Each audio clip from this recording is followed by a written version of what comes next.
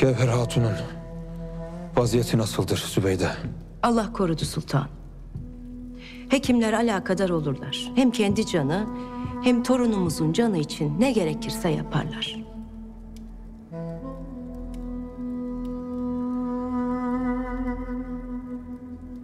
Sultanım. Geldiğinizden beri oturmadınız. Tapar. Yaralı halde yere yığılmışken dahi ana devi sayıkladı.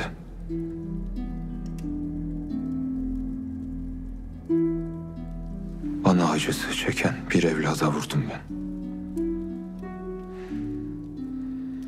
Elim kopsaydı da vuramaz olaydım.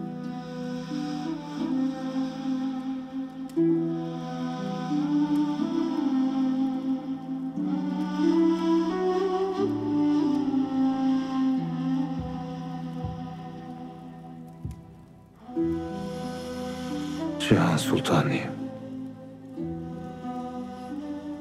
Lakin şimdi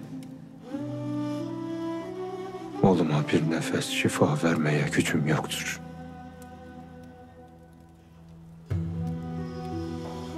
İşte Yaradan'ın karşısındaki acizliğimiz.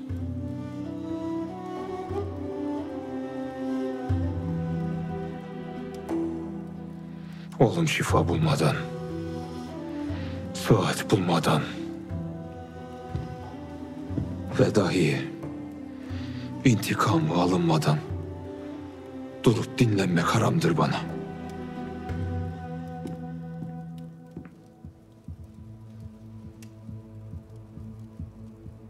Sultanım, Sencer Bey huzurunuza çıkmayı diler.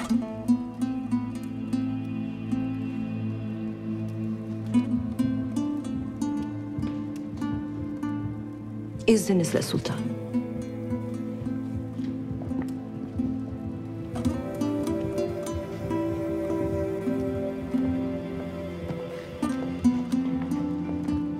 Sultanım. Hadiseleri işittim. Buraya hem Melik Tapar'ın ahvalini öğrenmeye hem de intikam için ferman almaya geldim. Hekimler tedavi ederler.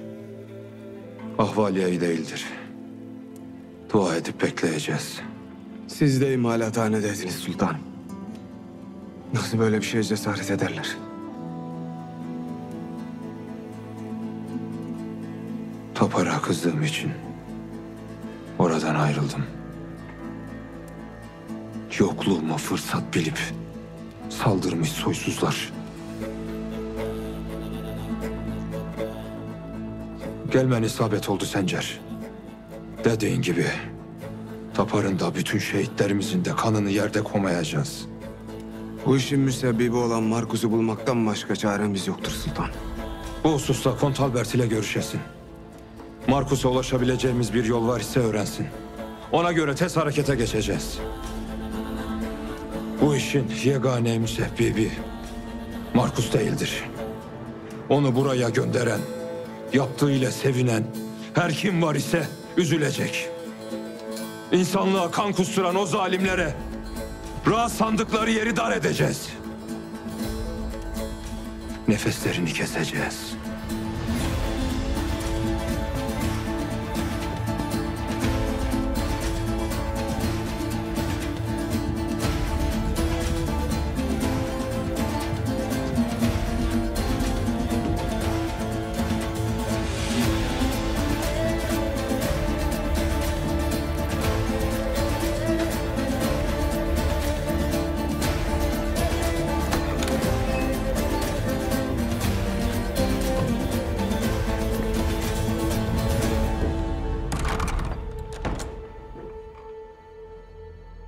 Bu odada mı görür tedavi?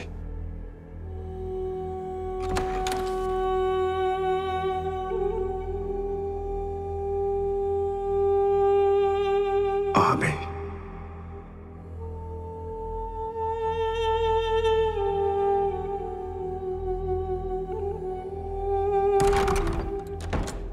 Ahvali nasıl iyidir? Aldığı yaraları derindir. Yaraları kapatıp kanamayı durdurmaya çalışırız hala. İmdiden Her şeye hazırlıklı olmak gerek. Bu da ne demektir şimdi? Melik Tapar'ın yaşama ihtimali çok düşüktür.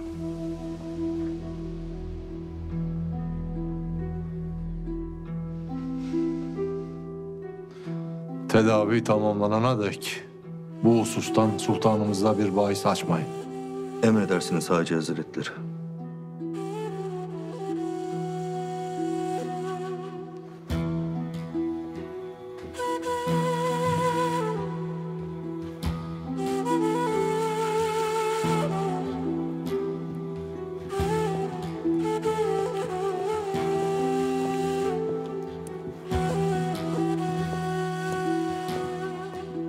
Ağabey, babamızın umudu, anamızın sırlı yarası. Yüreğimin bir parçası ağabey.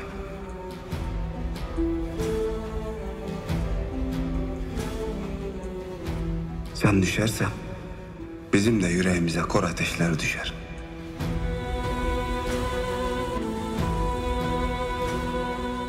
Öz kardeşim deyip sarılacağımız günler için.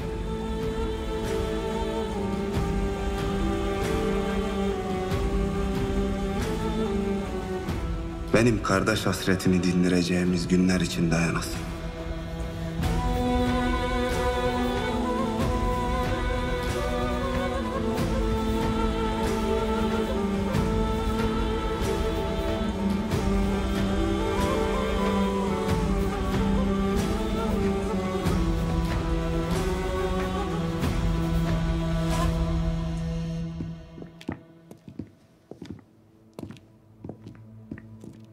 Sultanımız Melik Hazretlerini orada bırakıp gidecek kadar neye kızmıştır Haca?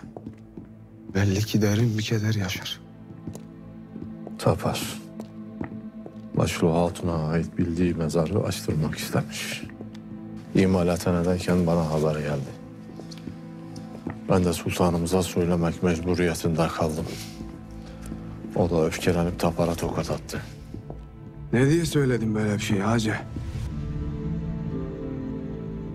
Hem babayla oğul birbirine darıldı hem de ağabeyin bu hallere düştü. Yapılacak iş midir o?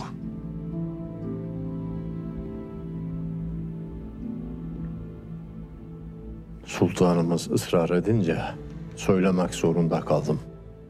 Ne yapsaydım? Ben bunu bilmeli ve dahi ona göre önlemini almalıydı. Sen bunca yıl sırların en mühimini sakladın. Elbet bunu da saklayabilirdin. En olmayacak işi yapmışsın.